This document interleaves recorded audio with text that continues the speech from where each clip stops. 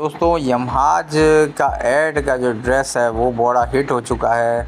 Lucky one mall में आप देख रहे हैं, इसके बैनर्स भी लगे हुए हैं और कभी ख़रीदो फ़रोख्त हो रही है निशात लेन की। और बड़े टाइम पे जो है ये ऐड बनाया था यमहाज का।